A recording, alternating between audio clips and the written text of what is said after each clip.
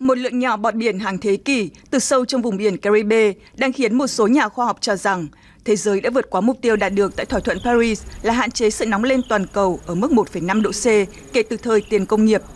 Cụ thể là đến năm 2020, nhiệt độ toàn cầu đã tăng hơn 1,7 độ C và đến đầu năm nay, nhiệt độ toàn cầu đã tăng tới 1,8 độ C so với thời kỳ tiền công nghiệp. Để có kết luận này, các nhà khoa học đã phân tích 6 loài bọt biển có tuổi thọ cao, mà một trong số chúng đã hơn 320 năm tuổi khi được thu thập. Bọt biển là loài động vật đơn giản có chức năng lọc nước, nhiều loài sống rất lâu và khi lớn lên, chúng lưu lại các điều kiện của môi trường xung quanh vào bộ xương của mình như nhiệt độ, độ pH, nồng độ CO2, tương tự như một nhiệt kế dưới đại dương. Vì vậy, chúng trở thành công cụ đo lường lý tưởng. Bọt biển thực sự là những anh hùng trong phép đo nhiệt độ đại dương. Chúng lưu lại những thông số môi trường một cách chính xác. Bọt biển có độ chính xác cao, vì chúng tôi có thể theo dõi lượng canxi và strontium, tích tụ thường xuyên trên bộ xương của sinh vật. Nước ấm hơn sẽ tạo ra nhiều strontium hơn so với canxi, và nước mát hơn sẽ dẫn đến tỷ lệ canxi cao hơn so với strontium.